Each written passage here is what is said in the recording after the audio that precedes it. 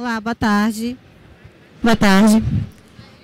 Nós vamos dar início ao nosso painel aqui no Palco Sócrates, com o tema Estimulando a participação das mulheres na tecnologia e em projetos de software livre. Para comprar o nosso painel, nós temos a Aide Svab, a Adriana Costa, a Eliane Domingos, a Cláudia Acha e eu, Celeste Farias, que vou obediar esse debate. Para começar, é, cada uma vai se apresentar e falar o que fala, o que faz, e a gente vai dar início à discussão. Pode começar.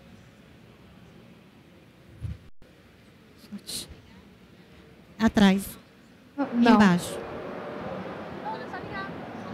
Tá funcionando? Tá. Vocês estão ouvindo? Então tá bom. Meu nome é Aide, eu sou engenheira civil. É, eu faço parte de um grupo de software livre lá na Escola Politécnica chamado Polignu. E dentro do Polignu nasceu um grupo de estudos de gênero chamado Poligen. Então, acho que esse é o motivo pelo qual me convidaram para estar aqui. E aí, acho que mais para frente eu falo mais um pouquinho sobre as possibilidades aí dentro da área de software livre para mulheres. Oi, é, meu nome é Adriana, eu sou analista de sistemas. Eu participo do, da comunidade Curitiba Livre, de software livre em Curitiba. Eu também tenho um blog que chama Mulheres, Tecnologias e Oportunidade, que eu reúno uh, os grupos sobre esse assunto, né? Mais para frente eu posso explicar melhor.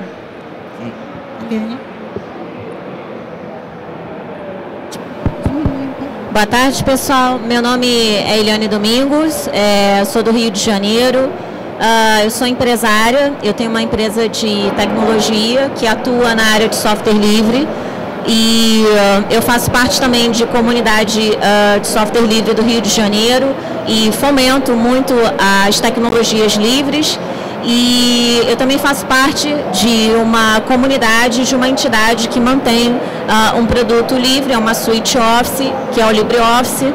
Eu estou enfeitada aqui parecendo uma árvore de Natal, mas tudo bem. E mais para frente a gente vai falar um pouquinho sobre esse projeto, ok? Meu nome é Cláudia Archer, eu sou lá do Maranhão e eu sou professora universitária e fui a fundadora do, do da CL Maranhão. E, mas daqui a pouco a gente vai continuando o debate, a gente vai falando sobre o, o que a gente faz e como a gente tenta mobilizar as mulheres para a tecnologia. É, meu nome é Celeste Farias, como falei no início, eu também sou do Maranhão, minha companheira está aqui do lado. Eu sou professora do Instituto Federal do Maranhão, então eu ministro aulas tanto no curso superior de Sistemas de Formação, quanto no curso técnico de Informática. As disciplinas que eu trabalho é, voltado para algoritmo, linguagem de programação, então eu trabalho com linguagem de programação livre. E atualmente sou responsável pela disciplina de fundamento de software livre. Então essa questão de software livre dentro da instituição onde eu trabalho, hoje está sob a minha responsabilidade.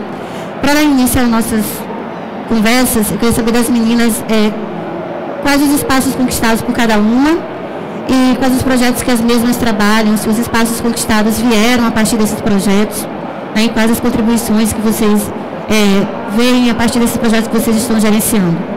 A gente pode começar com a ID. Repete as pontos, que foram muitos pontos que eu perdi. Tá. É, quais os espaços conquistados uhum. você, é, nos projetos que você trabalha, se foi a partir de um projeto que você foi convidado, se você foi você está gerenciando, quais esses espaços que você conquistou utilizando a tecnologia. Beleza.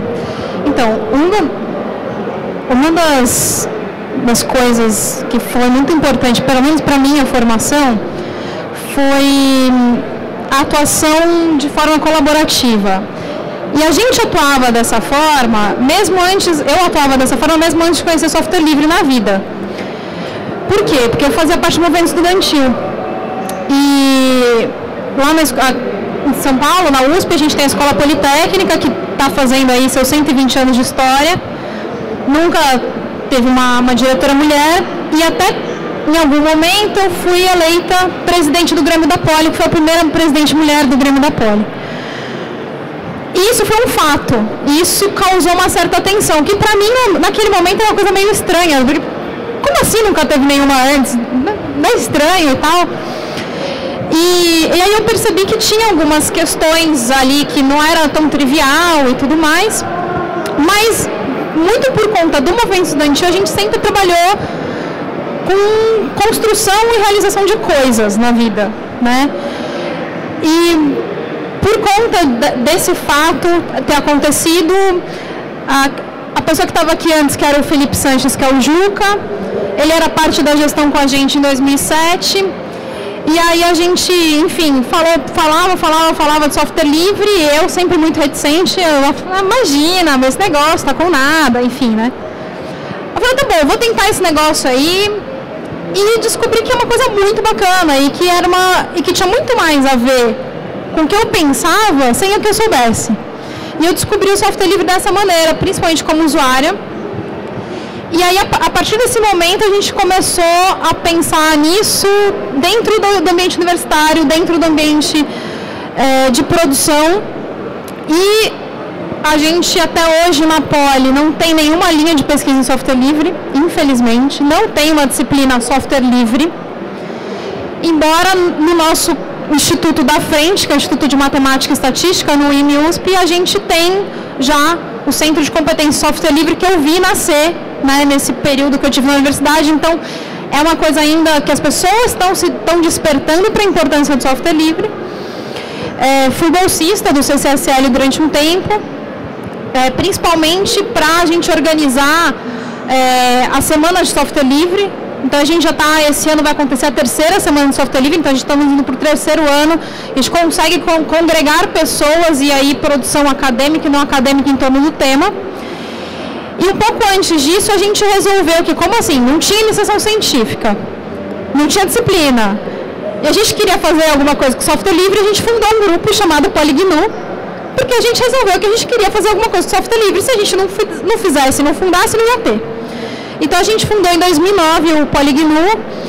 O Polignu contribuiu com algumas coisas, contribuiu com a LibreDWG, que é uma biblioteca para tentar fazer é, a conversão aí dos arquivos .dwg, que é do CAD, que assim como o pessoal do LibreOffice pode até pontuar mais para frente, uma das grandes entraves é a questão de você conseguir a interoperabilidade entre os softwares.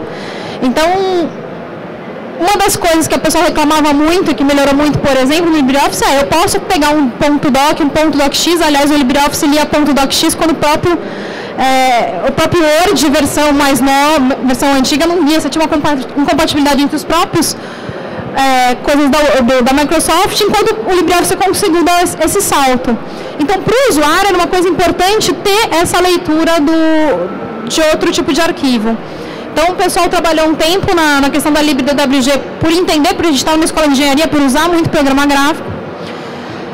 Aí, a partir daí, a gente também fez muitos cursos de difusão de software livre, de difusão de ferramentas livres, então, difusão de LaTeX, é, de GIMP, curso de GIMP, e chamava a gente para desenvolver aplicativo, sempre usando linguagens aí que tem comunidade ao entorno delas. A gente participa de alguns hackathons, sempre tendo em vista a transparência pública, porque o que mais me atrai não é o software livre em si, é a cultura livre, é a, é a, tecnologia livre, é a ideia de que você tem algo, você tem um conhecimento na sociedade e que você pode. E que assim, hoje a gente não está na sociedade que a gente está porque a gente nasceu e reinventou toda a roda. A gente hoje só está onde a gente está e só pode ter grandes descobertas porque a gente teve uma sociedade que acumulou muito conhecimento antes da gente chegar aqui.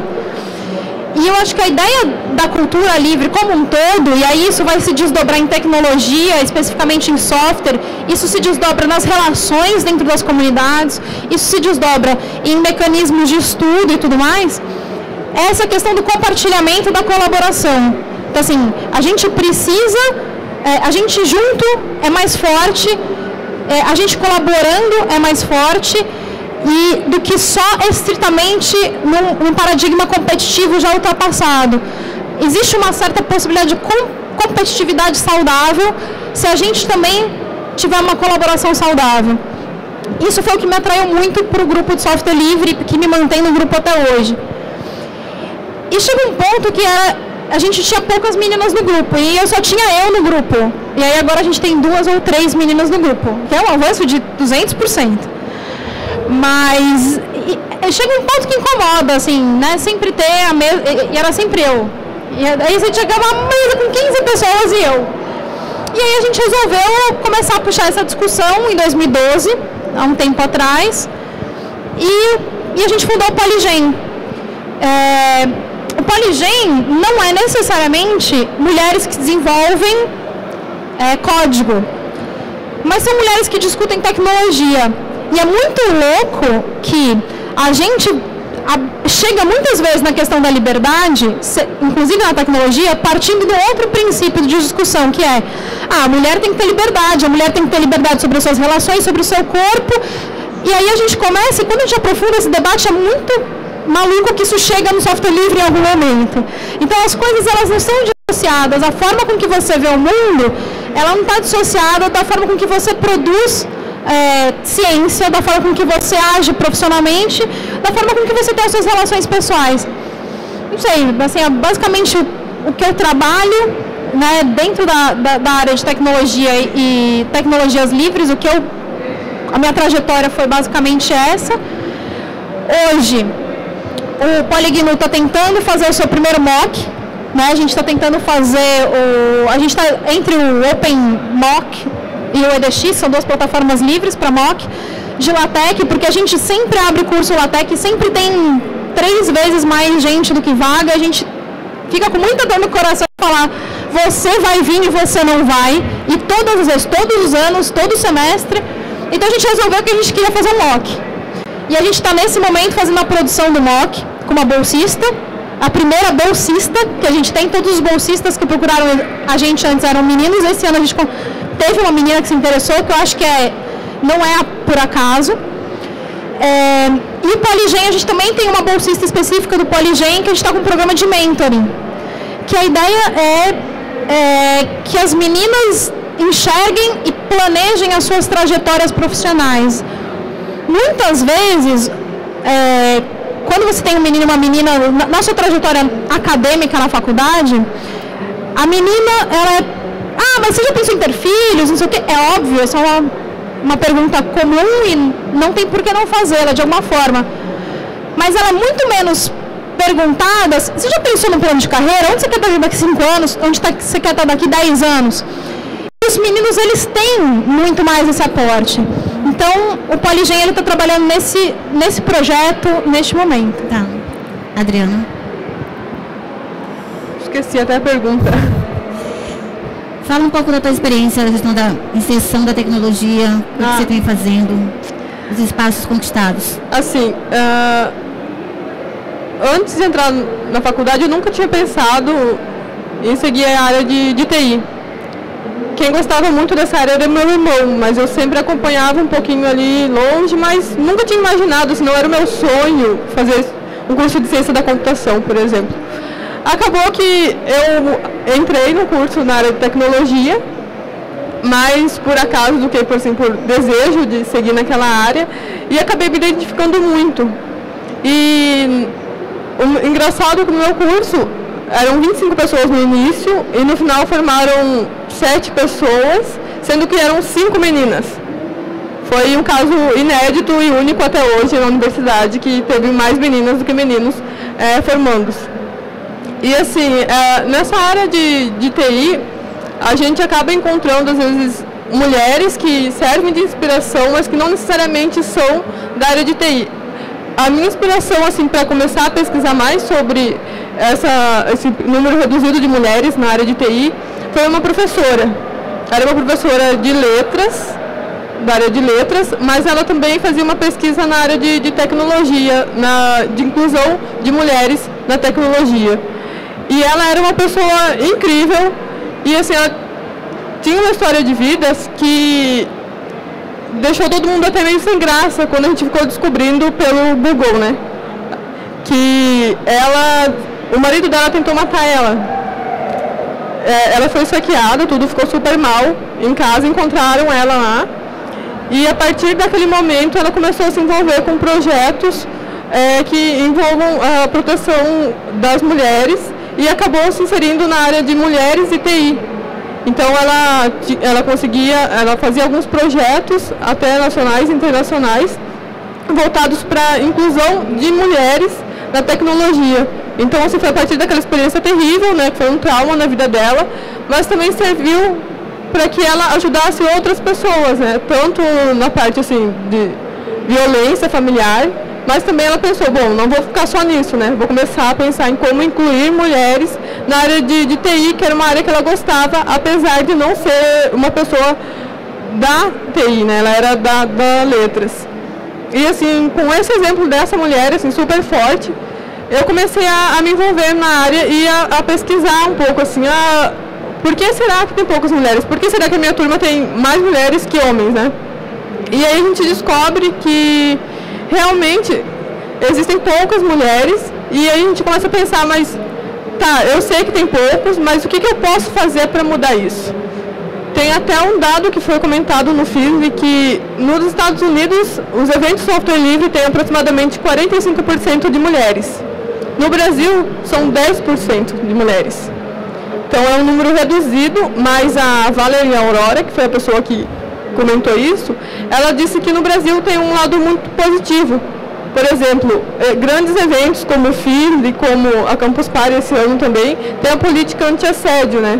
Que você já, já é uma colaboração não só para as mulheres, mas de modo em geral, né, como que as pessoas devem respeitar a minoria.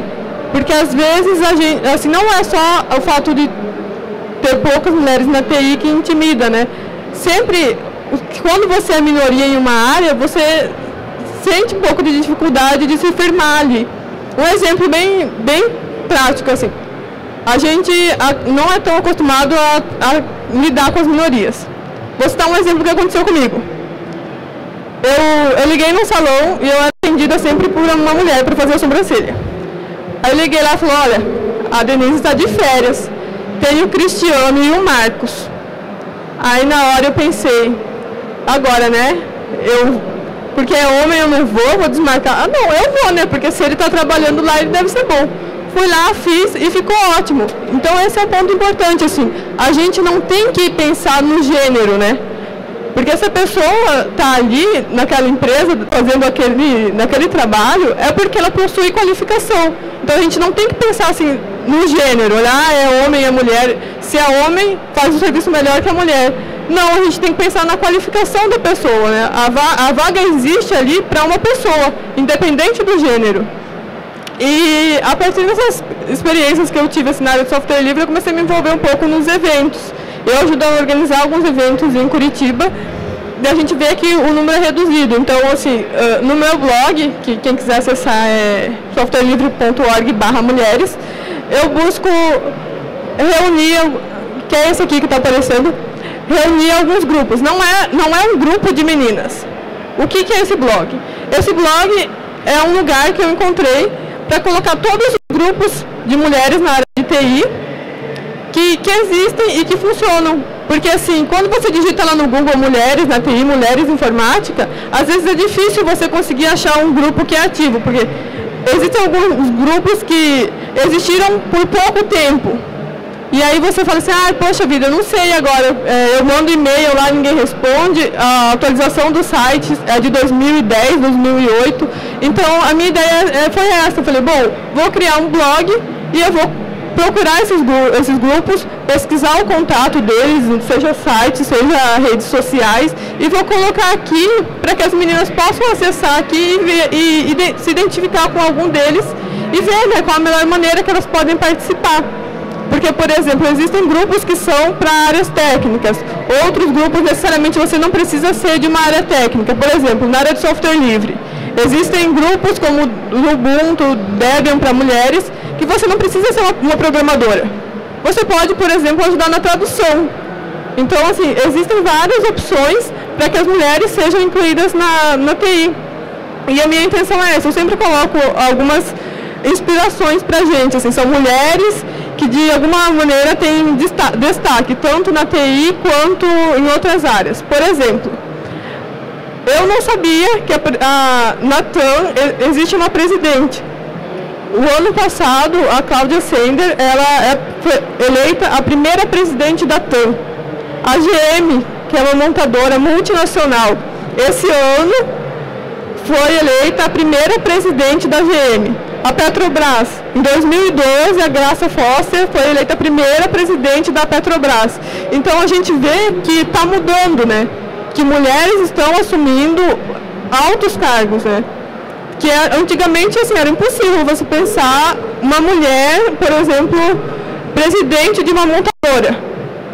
Porque algumas pessoas acham que ah, mulher e carro não pode ser que não combine. Nada disso, né? A, a Mary Barra foi lá e mostrou para todo mundo que ela é qualificada para assumir aquele cargo, assim como o Banco Central do, dos Estados Unidos. No final do ano foi eleita uma mulher que é presidente.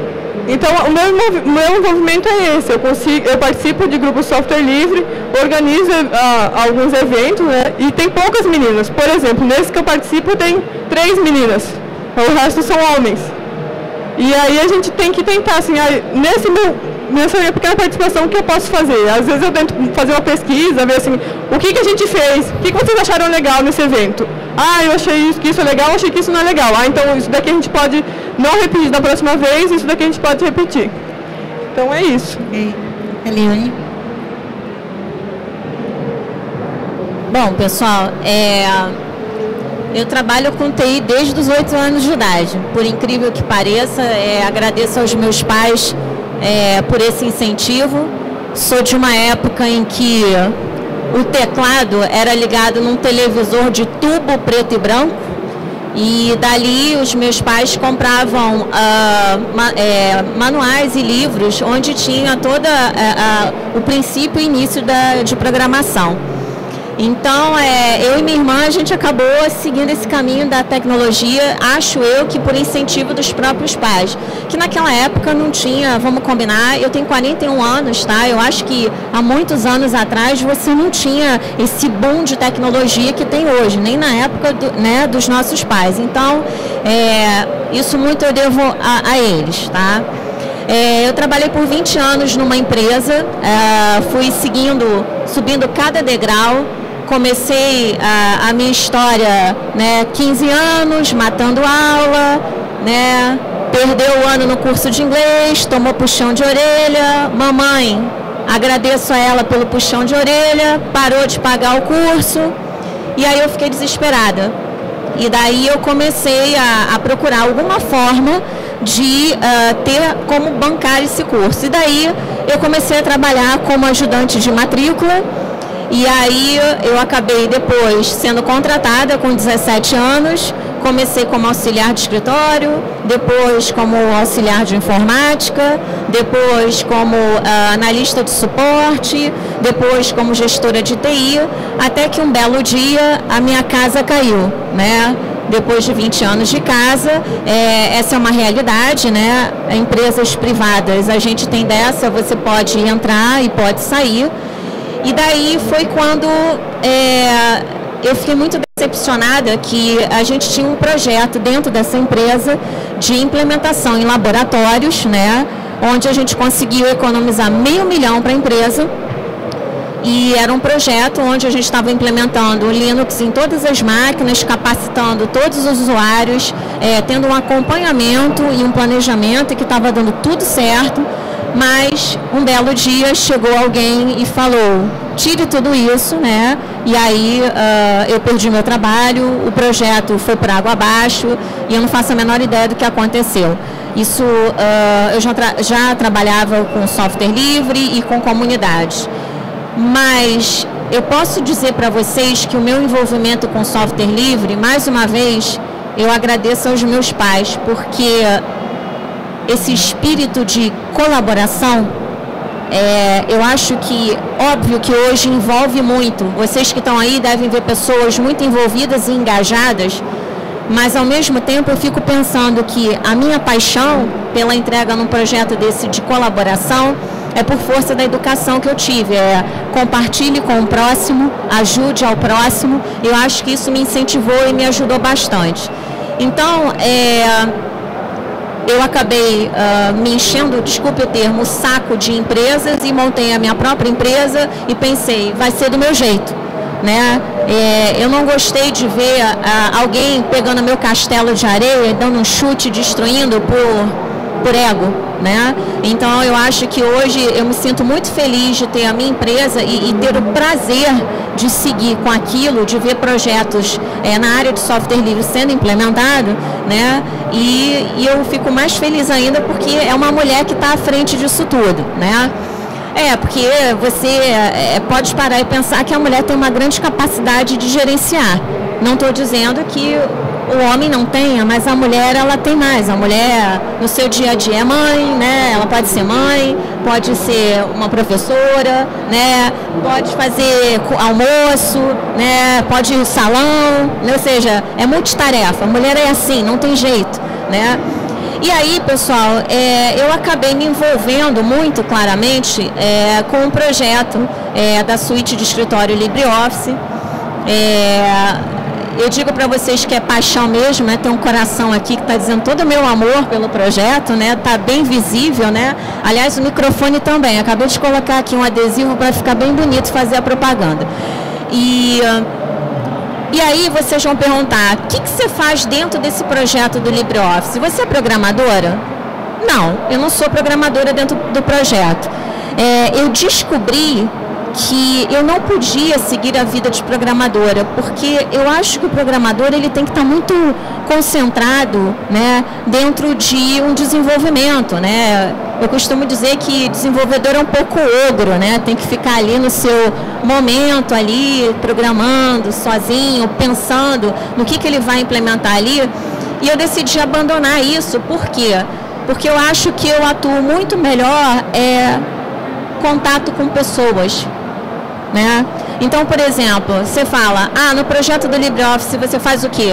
Eu divulgo o projeto do LibreOffice, eu fomento o LibreOffice, é, eu participo de vários eventos é, fazendo oficinas para poder ensinar as pessoas a como lidar com uma ferramenta, né, como por exemplo o LibreOffice, além de outras ferramentas como e-mail, uh, como uh, ferramenta de edição de imagens. Não sou designer, não sou né? Mas eu dou meu jeito, né? É, também não sou, como direi, é, desenvolvedora de sites e blogs, mas eu vou lá e dou meu jeito também. Né? Quando eu montei minha empresa, eu não tinha dinheiro para poder fazer isso, né? pagar alguém para fazer, né? vai lá e dá o seu jeito. Então, hoje, só para vocês terem uma ideia, é, eu só conheço de desenvolvedora é fora do Brasil. Eu acho que a gente tem muita essa carência de desenvolvimento até é, é, na parte de, de homens né, desenvolvendo no projeto aqui no Brasil. Não tem mulher alguma, mas lá fora a gente tem ah, algumas mulheres atuando no código do LibreOffice. Tá?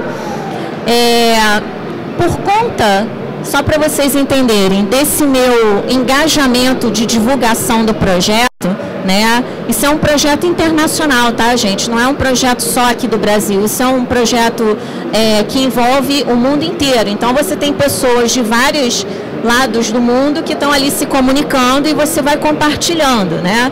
E eu acabei entrando na, na entidade que mantém o projeto, né? É, continuando engajada, divulgando, é, colocando as iniciativas, participo testando o produto e dizendo onde é que está com problema e vou lá e reporto o problema para o desenvolvimento, né? É, dou os pitacos lá de vez em quando, quando vejo alguma coisa que eu possa opinar, e este ano, é, ano passado, na verdade, essa entidade ela abriu uma eleição para eleger novas pessoas para o conselho dessa entidade e eu fui uma mulher que foi indicada para fazer parte desse conselho. E eu confesso a vocês que o que me surpreendeu é, um, eu sou a primeira mulher no conselho, né, Olivia? Você pode ir no conselho da, da, da Fundação Document Foundation é, vou tomar posse dia 18, né? Bacana. Mas sabe o que, que mais me surpreendeu, gente? Um que era uma mulher participando. Legal, era única também, né? O resto era tudo homem, né? Eram nove homens, doze mais ou menos, né? É, somos sete no total, não é isso, Olivier? Então são seis homens e uma mulher. Começa a imaginar como é que vai ser isso, né? Eu já andei dando meus tapas nos desenvolvedores essa semana que passou, mas é aquilo, vão ter que me aturar porque eu fui eleita, fui votada. Mas o que eu achei mais legal é, um, eu estou no Brasil, Dois, eu fui dos sete a segunda pessoa mais votada, independente do sexo. Eu fui a pessoa mais votada. Eu chorei horrores, porque um, o que, que uma pessoa como eu no Rio de Janeiro, né? Eu moro no Rio de Janeiro, no Brasil, faz de agregador para um projeto, né, de um aplicativo. Eu estou fomentando esse projeto, né? É, eu quem me seguir por aí e vê em redes sociais, vocês vão ver que toda divulgação que tem em volta ou do software livre ou do projeto do LibreOffice, eu sempre vou fazer um flyerzinho de divulgação, porque os usuários são muito visuais. É coloridinho, é igual celular, três chips, corzinha agora, verdinha é TIM, é, rosinha é claro e oi é azulzinho, né? Então é, é, o usuário é muito visual. Então é isso que hoje eu faço. Eu hoje fomento o LibreOffice. É, eu tenho é, viajado muito pelo Brasil, fomentando isso também.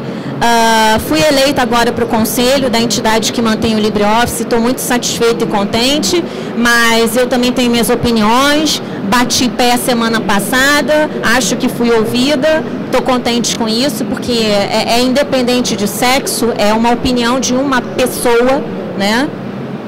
E, e é isso, gente. É, é o que eu tenho para dizer para vocês é que a área de TI ela é muito ampla. Você pode fazer muitas coisas. Eu já fui técnica de manutenção de hardware. É engraçado até você chegar, vai resolver um problema, estou esperando o técnico. Oi, cheguei. Não, o técnico. Sim, eu sou a técnica, né? Acho que só faltou para trocar uma letrinha. Eu adorava fazer isso, tá, pessoal? Abri máquina, fiz curso disso, não tive medo, achei que era interessante, gostava de mexer ali naquelas pecinhas.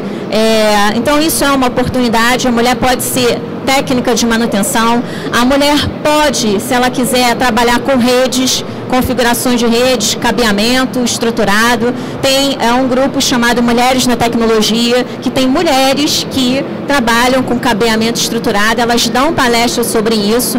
Né? Conheço desenvolvedoras, tá? Então, é, o meu recado para vocês é, se vocês acham que vocês têm alguma aptidão para isso, vai lá e segue em frente.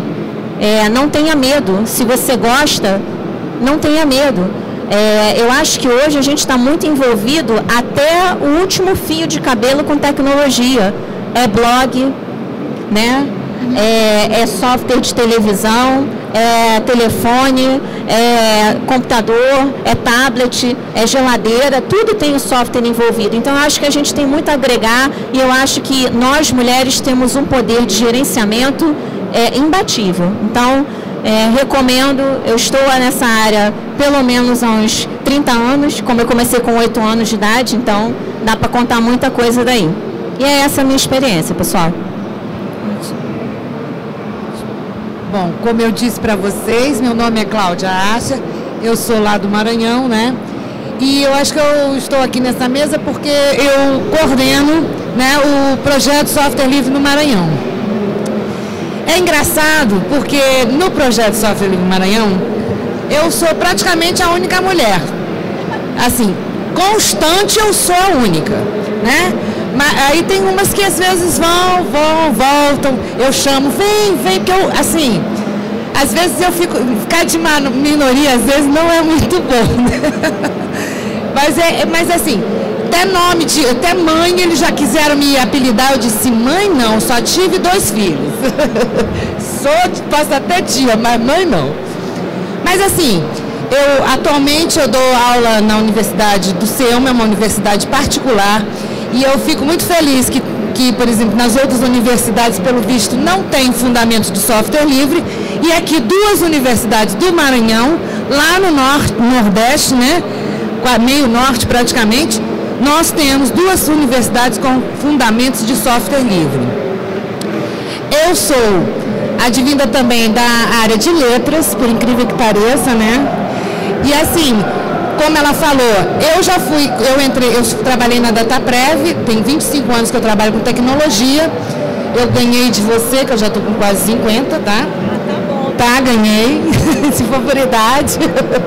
então, assim, e já fiz cabo, já passei cabo. Eu também era do hardware, tá? Eu gostava, sempre gostei do hardware. Software eu comecei a gostar com Linux. Não gostava muito de instalação. Então eu já abri máquina também, já soldei. Tem algumas queimadurazinhas de solda, tá? Então tudo que eu acho assim que a gente, nós mulheres, podemos fazer tudo. Da mesma forma que ela já sentiu, ah, estou esperando o técnico, eu também, certo? Estou esperando o técnico.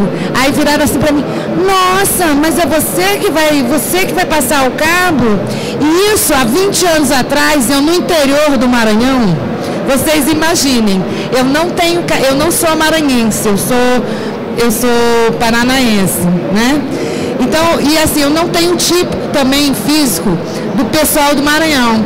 Então chegava eu, há 20 anos atrás, com aquela malinha de solda para passar cabo. Aí o pessoal olhava assim, você? Tipo assim, né? Não acreditavam que eu ia passar os cabos e que ia funcionar o posto do INSS. E funcionava. Pior de tudo que funcionava. Tem que voltar para lá. Não, não, não, não, não, não, não. Certo. Atualmente, o que eu faço? Eu, além de eu cuidar do, do projeto Software Livre, eu dou aula de fundamentos de software livre na, no sistema de informação. Que eu observo, as minhas turmas, pouquíssimas mulheres.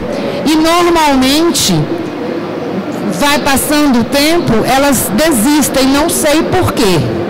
Certo? Não sei porquê, porque não tem que desistir. Nós estamos concorrendo igual. Eu acho que desiste, sabe por quê? Que acha que tem que desenvolver. E TI não é só desenvolvimento. Talvez seja isso. É o que eu digo para eles. Olha, no software livre, você, eu, quando eu chego na sala de aula, eu digo, eu não sou desenvolvedora, tá? Eu sou ativista. Eu sou ativista do movimento software livre. Então eu ensino conceito. A gente faz uma instalação, faz uma instalação. Não, eu prefiro fazer a instalação com, quando a gente vai fazer Install Fest ou então o Flissol, porque é isso que a gente faz, a gente fica é, fomentando, tentando fomentar tudo que tem a ver com software livre e tentando fazer com que as pessoas entendam que não é a questão do software em si. Software, qualquer software você pode usar, mas é a questão filosófica. Eu digo muito para meus alunos que nós temos duas, duas duas veias no mundo, tá? Ou a gente vai começar a trabalhar como um software livre, em colaboração. O mundo vai se tornar um mundo colaborativo, onde eu penso no outro, ou nós vamos para Blade Runner, brigar por água, certo? As duas coisas, nós, nós temos esse caminho. Então, eu acredito na humanidade. É outra coisa, eu acredito na humanidade. Eu, ainda, eu não, ainda não conseguiram me desiludir certo? Por isso eu dou aula também. Que a partir do momento, no dia que eu me desiludi do ser humano, eu não quero mais dar aula, certo? Porque aí o que, que eu vou ensinar para uma pessoa que eu já estou desiludida, o que, que eu vou ensinar para o outro? Não vou ensinar nada. Então eu, eu quero que vocês, meninas, continuem lutando e continuem e venham para o software livre, porque o software livre é, é, uma, é um conceito, eu acho assim que é um conceito de vida de colaboração, de, de, de desenvolvimento pessoal, não só de software, mas de desenvolvimento pessoal. E aqui a, a, gente vê, entendeu? As pessoas colaborando sem essa questão dinheiro, dinheiro, dinheiro, dinheiro. Porque o dinheiro, gente, é, é o tipo da coisa, o conhecimento, o conhecimento que eu adquiro, eu, ninguém me tira nunca na vida. O dinheiro eu aplico na bolsa, o negócio afunda e acabou meu dinheiro. Certo? Agora, se eu tiver como novamente é, produzir aquilo, eu nunca mais eu vou ficar sem dinheiro. Porque a gente ganha dinheiro com o quê? Com o nosso conhecimento. Então é isso. Não desistam e procurem uma vaguinha no, no, no software para vocês que vocês vão conseguir. Um abraço. É, eu sou graduada em ciência da computação, falei no início. Trabalhei 10 anos numa empresa privada, fazendo códigos de computador, e realmente é algo muito solitário você não compartilha, então é você o computador, é, não há muito discussão entre os pares.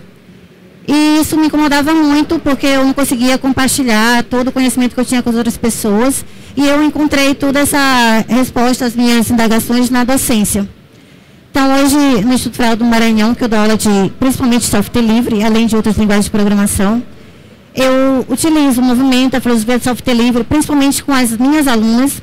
Então, muito tempo eu dei aula no curso superior. No Instituto Federal do Maranhão, eu sou professora EBTT. EBTT eu posso dar aula tanto no nível superior quanto no nível técnico. E eu decidi agora, em 2014, dar aula somente para o nível técnico, por entender que eu vou conseguir trabalhar melhor com as meninas de 14, 15, 16 anos, que é um período que elas ainda estão muito na dúvida do que elas querem realmente fazer.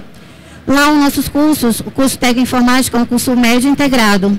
Então, é, curso, é as disciplinas do ensino médio mais as disciplinas do curso técnico, que no meu caso, informática. Então, as meninas vão lá fazer o curso porque tem que fazer o ensino médio, porque tem que prestar o Enem. E aí a questão da computação, da tecnologia fica muito em segundo plano.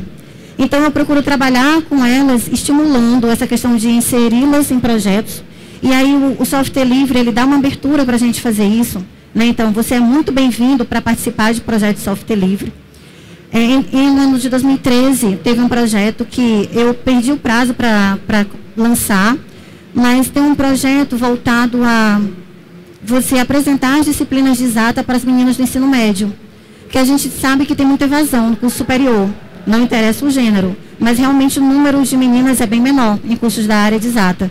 Então, existe um projeto que vai ter novamente em 2014 para incentivar o uso das meninas nas áreas de exata.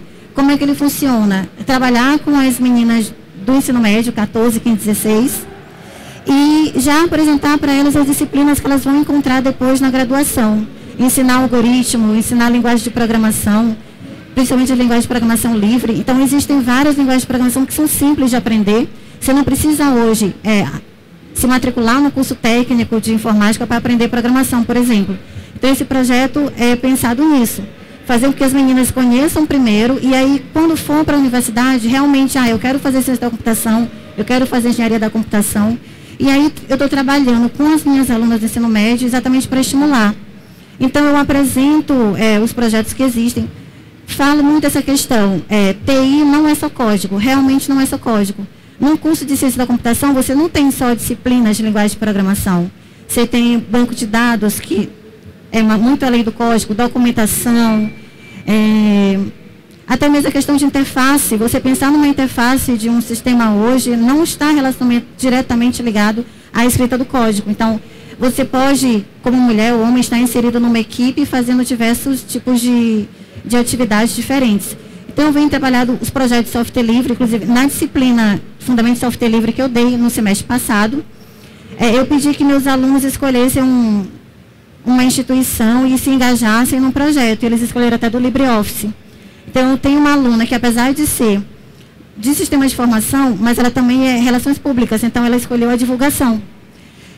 E apesar de não ter sido no código, mas isso trouxe um leque de, de opções para os outros alunos do curso e para as outras meninas também. Né? Porque você pode vir, você pode colaborar, você tem uma lista de discussão, então tem vários, você pode pedir ajuda em muitos lugares.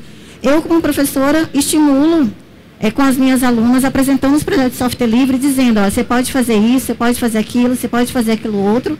E, claro, isso tudo virando uma avaliação final, né, que isso ainda importa dentro das questões da instituição. Aí eu quero saber das meninas que outras possibilidades que as mulheres têm hoje. Em quais projetos que eu posso me engajar? O que eu posso fazer? Aí pode, pode, pode. A ideia trouxe uma lista de projetos para apresentar para as meninas de como elas podem ser inseridas em projetos de software. Então eu vou falar aqui. Será que eu consigo falar? Não vou conseguir falar lá. Eu vou passar aqui na tela. E eu posso.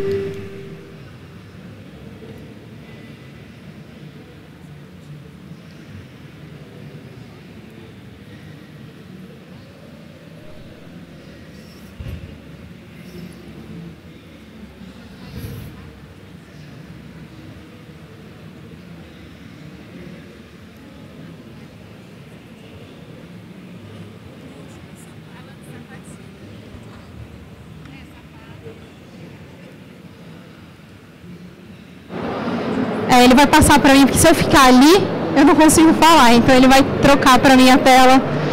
É, a primeira tela, na realidade, é... Só deixa eu desligar aqui.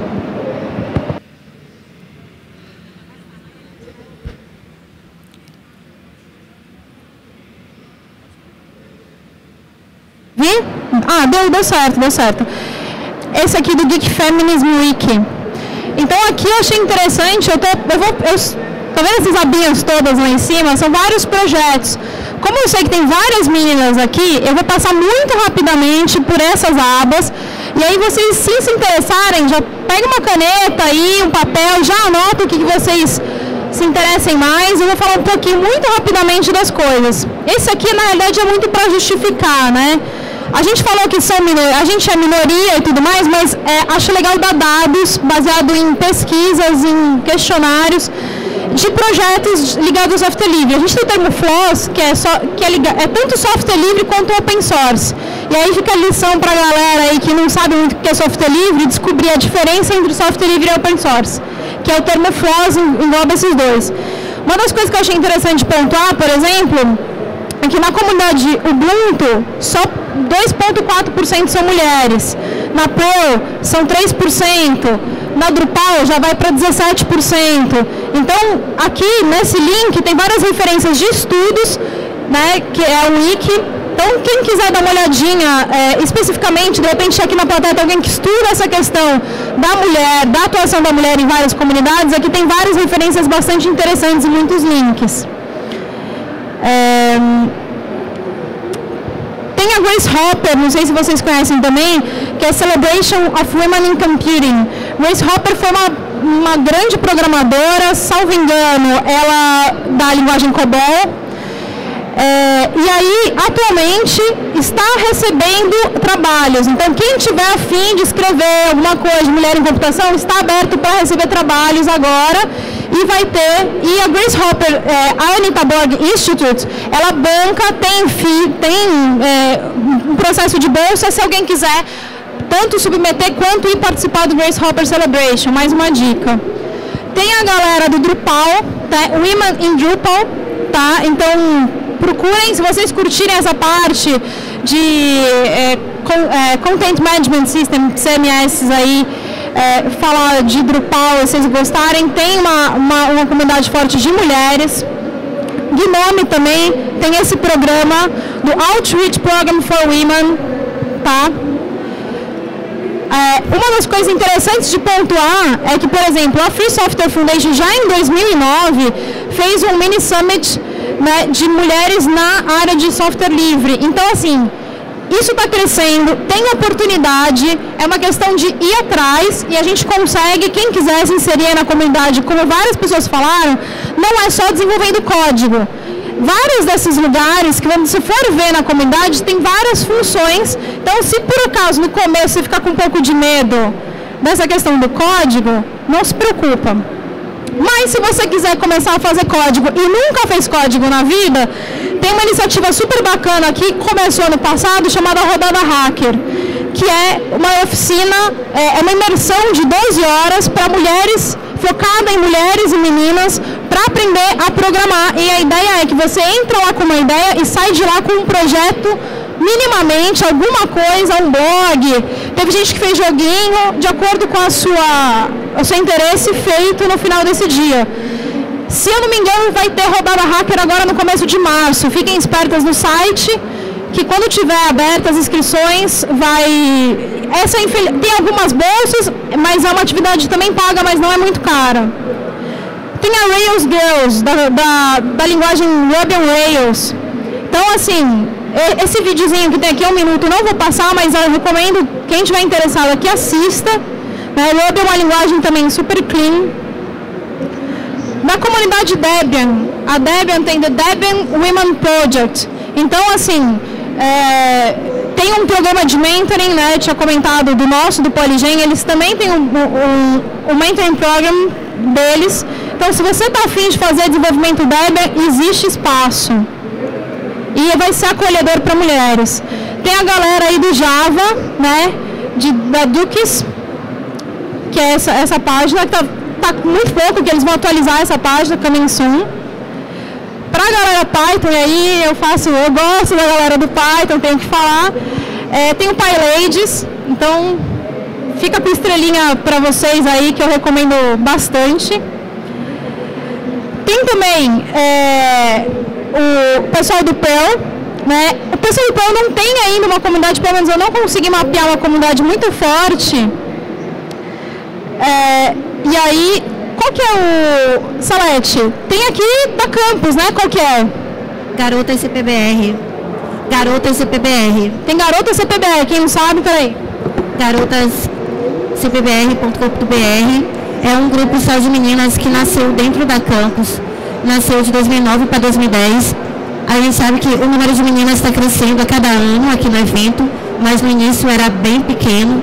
Então nós nos encontramos pela internet primeiro, nós nos conhecemos pela internet e em 2010 nós nos encontramos fisicamente aqui e decidimos fundar o grupo Garota CPBR. No começo, ele existiu para ajudar as meninas que estavam vindo pela primeira vez na campus, para dar dicas de como, o que elas teriam que assistir, o que elas teriam que fazer. E nós temos um blog, garotobr.com.br, que eu escrevo para esse blog, eu escrevo para a área de software livre, que é a área que eu trabalho, mas é, se você quiser escrever para o nosso blog, é só falar comigo, tem diversas áreas. A gente quer inserir as meninas nas tecnologias, não é só software livre, tem fotografia, astronomia, todas as áreas que você encontra aqui na campus tem uma área dedicada no nosso blog. Então vocês podem é, entrar em contato comigo, tem um grupo no Facebook, e aí vocês podem virar autoras do blog ou então simplesmente colaborar em outras ações. Então, as outras, as outras páginas, tanto garotas quanto os outros sobre a internet aqui resolveram colaborar comigo agora, mas tem é, a Garota CPBR, a gente, aqui tem um endereço pelo menos, que é polignu.org.br, que é o grupo de software livre que eu faço parte, e o grupo específico de gênero nosso é o poligem.polignu.org.br, e aí eu vou deixar aqui né, que dizem que mulheres são de Vênus e homens são de Marte, aí tem a mensagenzinha que Marte precisa de mais mulheres a comunidade Pearl também precisa. Então, que é uma mensagem aí que a galera da comunidade Pearl fez. Então, fica a dica aí de vários sites, está aqui em cima, se no final alguém quiser que eu passe mais informações, mas eu fiz assim, um apanhado em geral das, das comunidades que, que a gente conhece por aí, ou que a gente acaba tendo referência, enfim, de oportunidades. Quem qualquer uma delas, certeza que vai receber bem qualquer uma de vocês. Entre as meninas, Cláudia, Eliane, Adriana, vocês têm algum outro projeto que as meninas podem ser inseridas? Podem falar. Aí depois a gente vai abrir para perguntas da plateia. É, tem alguns projetos que eu, que eu separei aqui. Na Universidade Tecnológica Federal do Paraná tem um projeto Emílias, que eles atuam em escolas no ensino médio, então se alguém for aí do Paraná pode participar. O, o nome do projeto é Emílias Armação em Bits. Tem alguns editais da Secretaria de Políticas Públicas para Mulheres, lá no site do CNPq, que é bem legal. É, eles destinam verba para que instituições façam projetos voltados para a inclusão de mulheres na área de engenharias de ciência da computação. Então, de repente, você pode falar para o coordenador do seu curso na faculdade, para, olha, pode, que tal, né, se a gente inscrevesse um projeto lá, e aí você monta o, o, a instituição, lá, os professores podem montar o projeto e enviar, e se for aprovado, tem esse investimento do, do governo. Tem também o projeto Meninas Digitais, que tem em várias universidades, que é uma iniciativa da, C, da SBC, né, Sociedade Brasileira de Computação, tem a Regional Sul, na Federal de Santa Catarina, tem na, na Federal do Mato Grosso também. Então esses são alguns projetos que, que eu separei aqui. Quem quiser mais, ver mais, tem no meu blog, né?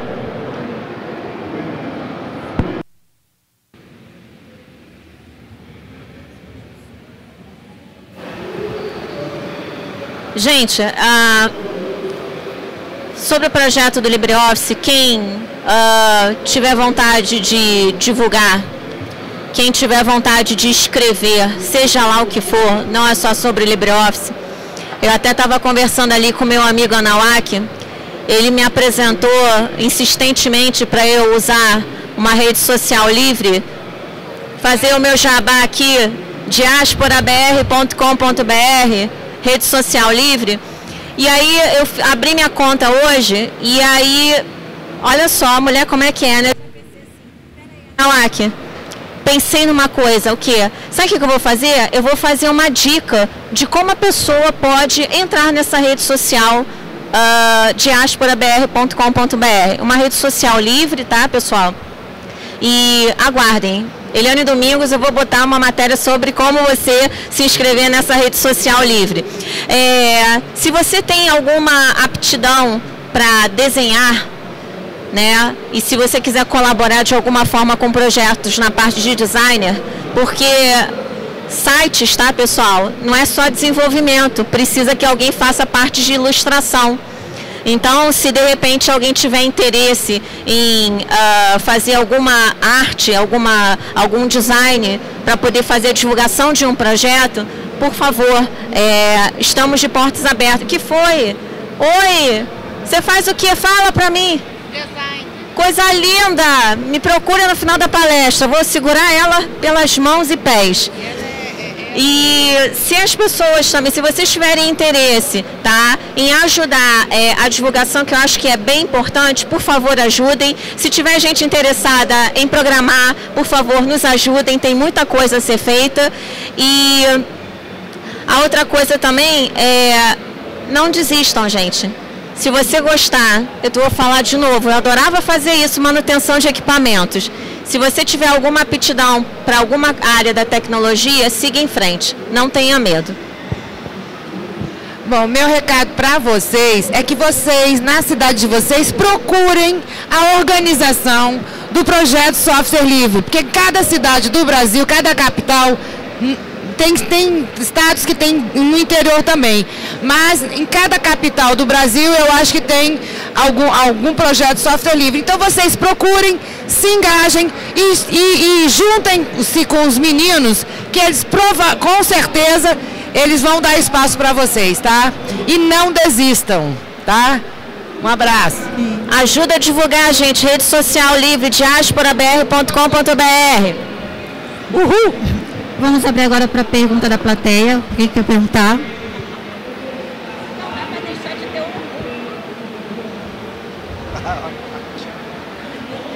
Slide. A minha, a minha pergunta é mais de, de cunho cultural mesmo. É, em países como a Coreia do Sul, as ciências exatas são ciências femininas. Ah, nos cursos de TI, na Coreia do Sul, o índice de homens é de menos de 3%. Então, em turmas de 50 alunos, você tem três ou quatro garotos. É, então, nós somos todos humanos. Então, a minha, a minha ponderação, a minha pergunta é, é bom, para mim fica claro que é uma questão cultural, a gente tem uma questão de, de TI menos é, é, acessível ou menos interessante para as mulheres, é, especialmente na América do Sul, onde eu tenho mais, mais passagem. E a, e a minha pergunta era, bom, se vocês acham que de fato é uma questão cultural, e se sim, o que é que está faltando para a gente, é, do, do, ponto de vista cultural, fazer esse, esse movimento é, para estimular as, as, as, garotas a, a procurarem a TI.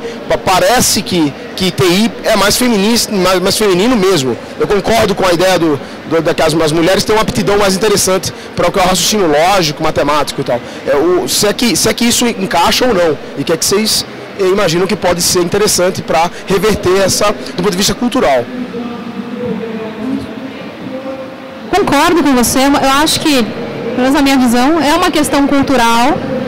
É, somos da mesma espécie, a gente nasce com um cérebro igual, é, mas é, é, importante que, assim, além das disciplinas que você tem na aula, e que todo mundo é exposto às mesmas aos mesmos conteúdos na escola, você tem toda uma sociedade, você tem todo uma, um arcabouço cultural estimulando mais e dizendo que, olha, isso é para você, aquilo não é, tanto para meninas quanto para meninos. Né? Você, meninos têm aí uma dificuldade se ele quiser ser um bailarino na vida. Se ele quiser ser um designer de moda, ele vai. Então, assim, tem, tem outras dificuldades. É, se você for na Rússia, você não vai ter tanto problema para ser bailarino. Mas se estiver no Brasil, você vai. Então é uma questão de. Não é uma questão do seu corpo, não é uma questão biológica, essa é uma questão cultural. Tem um lado complicado disso, que você tem toda uma sociedade moldada e, e que, que joga para que algumas coisas sejam reforçadas e outras sejam né, desincentivadas. Por outro lado, se é uma questão cultural, é que é uma questão que muda. Se é cultural, a gente pode mudar. E como que a gente pode mudar? É tornar é, para as mulheres, olha, isso é para você. Se você quiser, você não é obrigada. Mas se você quiser, sinta-se à vontade. Vem, programa, mexe com Arduino, mexe com hardware, desmonta. Quer desmontar o seu abajur na sua casa, desmontar. Desmonta, monta. Isso não é algo autorizado somente aos meninos. Afinal de contas, os meninos, quando vão remontar, também sobra peça, entendeu? Então, é, eu acho que é, o lado bom de ser cultural é que a gente está mudando.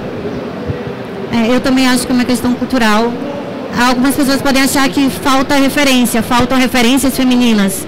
Na verdade, não falta, tem, existem muitas referências. Então, eu procuro ser mais uma dentro da sala de aula para as minhas alunas. Falei assim, ah, isso é para você. É uma frase que eu uso muito em sala de aula. É para você, você pode, tem isso que você pode fazer, tem aquilo outro. Então, eu trabalho muito, até a questão um pouco psicológica também porque é cultural, o pai fala que não é, a mãe fala que não é, ou talvez o irmão, ou até por ter mais meninos na turma, elas se sintam mais retraídas em trabalhar. Então eu procuro me aproximar ao máximo na questão da docência e fazer elas entenderem que elas conseguem fazer. É tranquilo, não é uma questão de gênero. Então, fico feliz por ter retorno de muitas. Então elas falam assim, ah, quando eu crescer eu quero ser que nem você. E aí eu continuo nessa maré. Né? Então acho que cada um de nós tem uma responsabilidade referente a isso, mas com certeza é uma questão cultural. Alguém tem outra pergunta? Oi. Oi, meu nome é Camila. Eu olho para a cara de tecnologia desde meus 9 anos, que foi quando minha mãe. Tá ouvindo? Não. Oi, meu nome é Camila, eu trabalho, mexo com tecnologia desde os meus 9 anos, que foi o meu primeiro computador que minha mãe me deu. E eu quebrei ele com 10 anos e consertei ele inteirinho também. Inclusive, eu entrei na área de... Aliás, comecei a mexer com web, meu primeiro site de games foi com 12 anos, que é a nova era dos jogos tal, essas coisas. E, e hoje eu trabalho com administração de servidores de aplicação e servidores virtualizados. E uma coisa que eu percebi é que, que não era essa área, até pelos cursos que eu faço, que eu tive que fazer curso de Linux, eu trabalho com Oracle Solaris, eu tive que aprender virtualização de hardware. E várias escolas que eu fui, rola uma certa intimidação, tanto dos professores homens, tanto da sua turma, que todos os cursos que eu fiz, a grande maioria era de homens. E todos sempre tem uma piadinha ser sexista sobre o fato de ter uma mulher. O professor sempre faz questão de dar um destaque de, nossa, você é a menina número 24 que eu dou aula em 10 anos.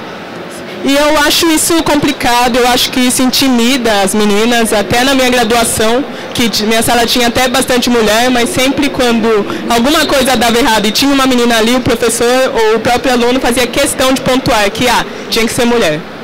Eu queria saber como, como lidar com isso de uma maneira de onde eu posso recorrer para dar um jeito nisso. Eu, de, porque que eu não sei se adiantaria você ir numa diretoria falar, olha, aconteceu isso, só que é tratado como piada. Então eu gostaria de que alguém falasse sobre isso, como lidar com isso, que eu acho que é uma dificuldade.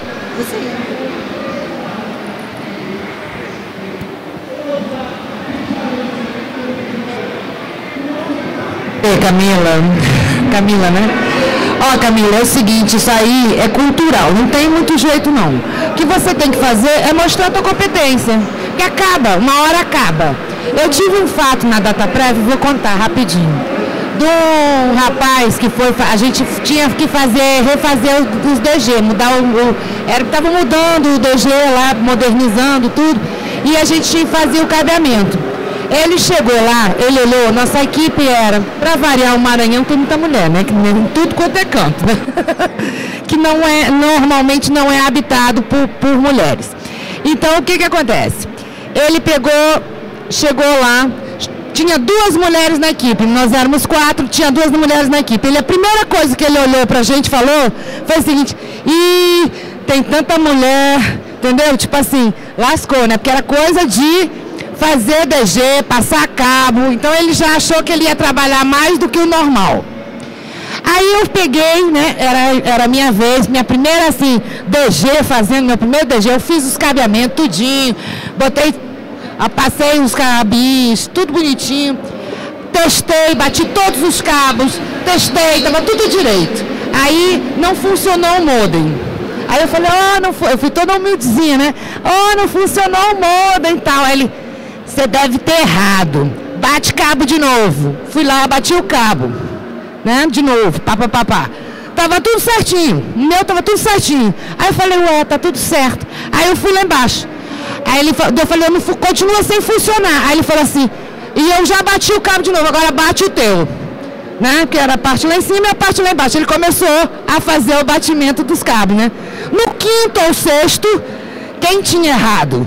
Ele. Minha filha, ele passou o resto da semana a coisa mais mansinha que você podia saber. Pronto, acabei com ele. Entendeu? É assim que a gente tem que. É aquela coisa, mostrar a competência. Em qualquer canto, tanto faz ser homem ou ser mulher, você só se estabelece se você for competente. É isso. Não tem que brigar, não tem que fazer nada. Apenas fazer bem feito. Tá? Eu vou te dizer o que, que eu faria, como eu já fiz muitas vezes, até quando eu comecei a fazer meus cursos de Linux. Uma mulher, 20 homens. Piada? Com certeza. Mas não existe nada mais intimidador do que você chegar, levantar a mão e falar: Eu gostaria de ter um particular com você. E esperar todo mundo ir embora e ter o diálogo com a pessoa e dizer que você não gostou. Porque é, a pessoa que faz isso, ela não espera a reação da outra. Então eu acho que isso já aconteceu comigo muitas vezes e, e eu cheguei eu falei que eu gostaria na frente dos outros. Eu não disse o que era, mas eu despertei a curiosidade dos outros em saber que eu queria falar com ele, mas em particular. E depois no particular, né, deixou as outras pessoas pensando, ela pegou ele e né, massacrou ele. Porque eu não tenho que é, fazer o mesmo com ele, o que ele fez comigo mas eu acho que o diálogo, para mim, nesse momento, nessa situação, é o melhor a ser feito. E de preferência, olho no olho, só você e a pessoa. Tem que ter coragem, né? Porque às vezes a gente também é muito tímido. É o que você falou, ah, mas isso intimida, intimida. Mas é chegar e falar, não gostei. Falar mesmo. A gente, quando bebê, fala isso, né? Quando ele não quer alguma coisa, ele fala não, não. E a gente também tem que falar, não gostei. Então, assim, meu conselho para você é chamar a pessoa no canto e falar que não gostou, né? E eu acho que quando eu fiz isso, a coisa ficou bem diferente. Às vezes eu sou um pouco agressiva, dou soco na mesa, né? Tipo, mostrar, parecer assim, nossa, você está sendo meio masculinizado, mas não é. Às vezes você tem que dar uma surtar e dar uma de louca, né? Parecer que está na TPM para poder ele entender, né? Como é que as coisas funcionam com é, as mulheres. Esse é o meu recado. É, uma das coisas que a gente, especialmente, estou falando muito do, da experiência universitária que eu tive e de algumas relações, porque às vezes a gente não tem uma relação de poder que é difícil chamar, né, e falar. Em particular acontece, mas na hora as pessoas se sentem intimidadas. Eu acho que uma das coisas bacanas é as mulheres se unirem. É, as, existem tem uma, mas tem uma em outra sala e tem uma na outra sala e que se tiver mais de duas, mais de uma pessoa já são duas e vocês já podem se é, dar apoio. Eu acho que isso é uma coisa muito bacana. É, por quê? Porque até para você compartilhar esse tipo de coisa que você está compartilhando conosco agora, isso acontece cotidianamente com todas as pessoas, com todas as mulheres em situações muito próximas. Todo mundo já viu algo muito parecido. É, e é importante pensar como agir e ter alguém para dialogar sobre isso. Então, assim, a experiência que eu tenho visto ser muito positiva nos lugares é você tentar formar coletivos de mulheres, tá? É, não necessariamente para, sabe, tipo, ah, aquelas feministas histéricas, saindo do estereótipo, é, dos nossos próprios estereótipos também, mas criar uma solidariedade entre as mulheres, porque os homens, quando eles têm um problema, eles se reúnem no barzinho e vão trocar ideia e eles são solidários entre si. A gente tem que ser solidário entre si também. Esse é o meu recado. Tem tempo para mais uma pergunta? Só mais uma pergunta. Eu pedi apenas para uma das meninas responderem.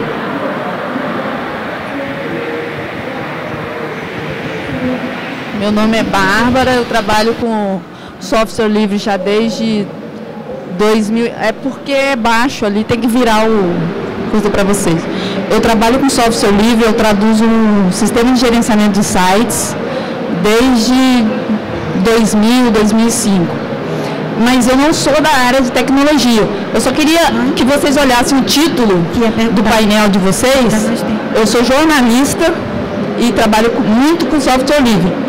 Eu, ano passado eu vim aqui é, falei que ia aprender Blender. Aprendi o Blender, aprendi a mexer na impressão 3D, comprei uma impressora 3D e estou imprimindo bonequinhos da área em impressão 3D.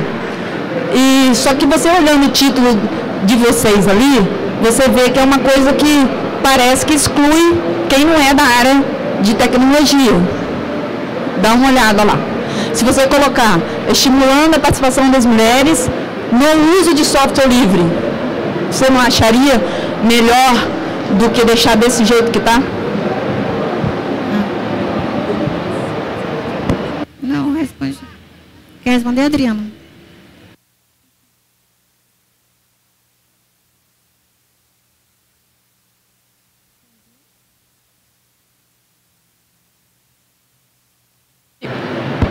Oi. Eu acho que assim, que a ideia aqui, como a, a Campus Party envolve diversas áreas e o público é muito, muito grande, né? São 8 mil pessoas, eu acho que não fui eu que criei o título, tá, gente? Estou aqui como convidada, mas eu imagino que quem pensou nesse título, estimulando a participação das mulheres na tecnologia em projetos software livre, pensou o seguinte, a gente pode abranger tanto para quem é só software livre quanto para tecnologia, mas não, não, é, não exclui, sabe? O foco nosso é esse, mas não impede de falar sobre outros assuntos. Imagino que foi essa a ideia, tá? Não...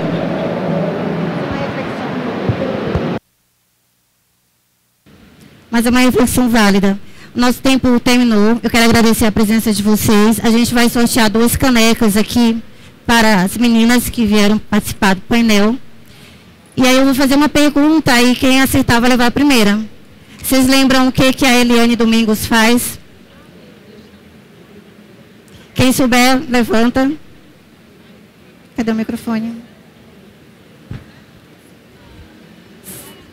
Pega aqui. Alô? Ela participa do fomento do projeto LibreOffice. Oi? Ah. Aí você pode pegar, aí você pode levar a caneca para ela.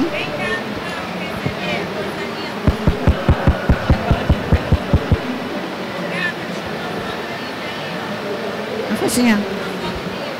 Para outra caneca, vocês lembram o grupo que a ID faz parte? Que ela criou? Alguém leva o microfone para ela, por favor. Ela citou. O que você citou? Todos? Todos? Rails Girl, você que ela citou. criou. Alguém sabe? PolyGNU e PolyGen. Certo, pode pegar. Gente, muito obrigada pela participação de vocês. Continue acompanhando os conteúdos da área. Até a próxima. Tira com ela.